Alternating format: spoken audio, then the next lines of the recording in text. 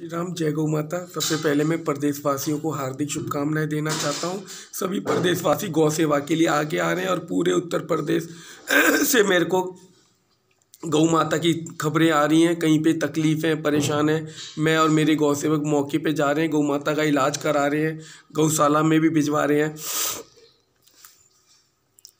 मैं पूरे प्रदेशवासियों से कहना चाहता हूँ, इस बार प्रधानी के इलेक्शन में मैं चाहता हूँ मेरे गौ सेवक ही भी प्रधानी में बढ़ चढ़ के हिस्सा लें, आगे आएँ, नामांकन करें, ताकि मैं और मेरे गौ सेवक पूरे उत्तर प्रदेश में ग्राम प्रधानी में हम चाहते हैं गौ सेवक प्रधान बने, ताकि गौ माता की सेवा हो सके, गौ माता रोडों पे ना घूमे।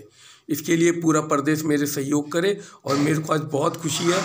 पूरे प्रदेश से मेरे पास एक खबर आई है तो इस पूरा प्रदेश आज मेरे साथ है। मैं इसीलिए सोशल मीडिया पे बोल रहा हूँ कि ग्राम प्रधानी में मैं गौ सेवकों को विजय बनाऊँगा और भरपूर सहयोग करूँगा, मैं और मेरे गौ सेवक।